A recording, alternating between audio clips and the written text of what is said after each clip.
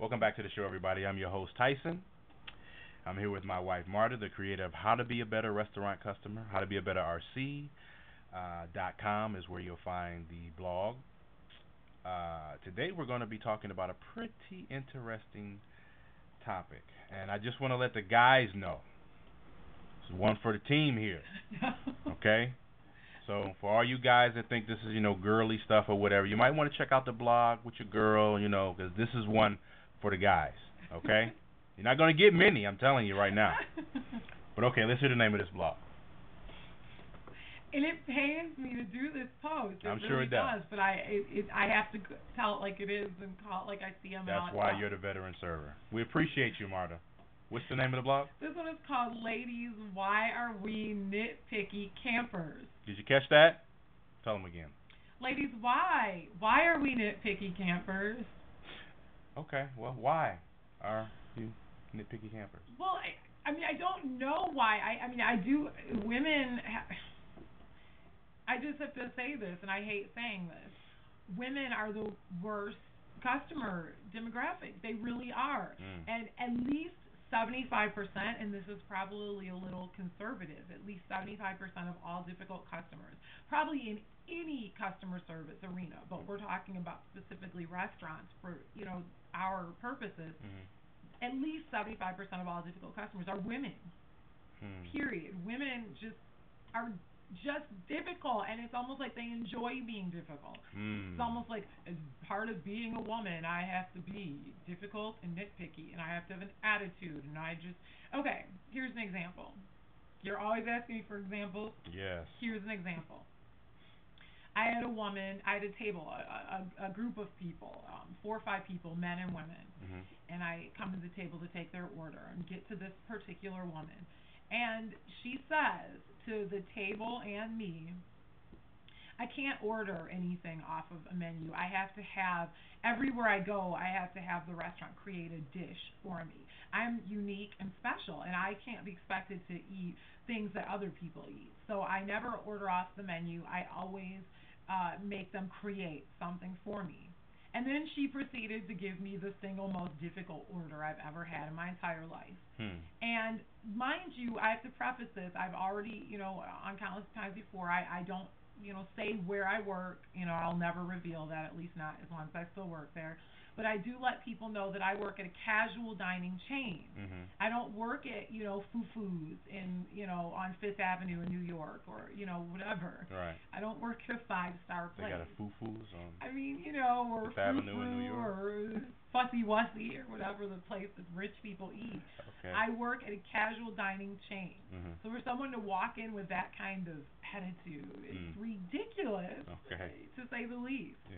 But I Not you know, someone, but a woman. oh, okay. Okay. Okay. So another problem with women is that for some reason they they always have to have separate checks. Always Mhm. separate checks. We have to have separate checks. A group of seven women will walk in.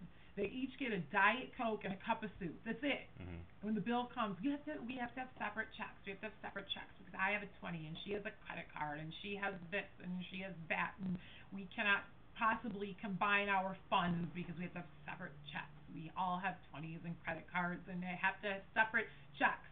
They can't possibly just toss in the five bucks that their beverage and soup cost. Mhm. They have to have separate checks.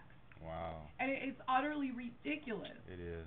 for my trouble. Now, not only that, not only that, because we have to bring the camping aspect in. Okay. Women camp. I mean, they camp hardcore. And what is the camper? Yes. Explain. Explain the camping. Th- You hang out long after your meal's done. You hang out long after it was necessary. What You are they generally doing?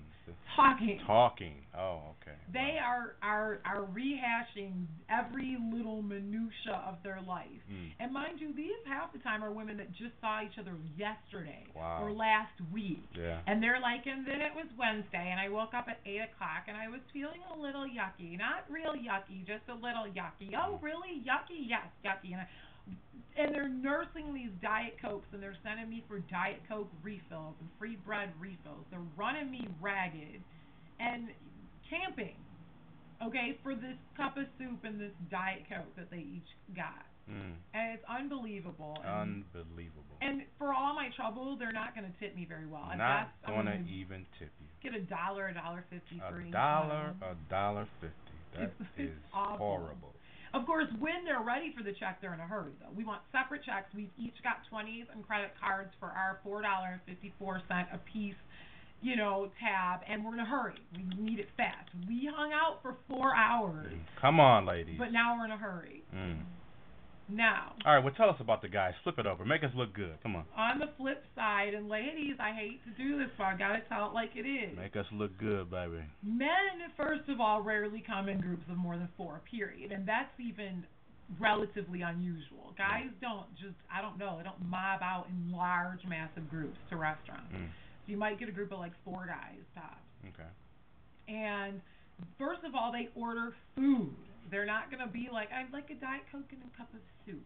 They order food. They're Mm. going to order appetizers and they're going to get meals where they get steaks and potatoes and whatever else.